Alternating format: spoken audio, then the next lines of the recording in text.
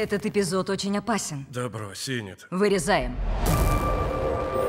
Британию наводнили извращенные фильмы ужасов. Перепутать вымысел с реальностью. Ничего не смущает? Некоторые сцены просто омерзительные. Я хочу защитить людей. Не могла бы Иннет посмотреть один фильм Фредерика Норта? Меня устроит 15+. Он совершенно безвредный.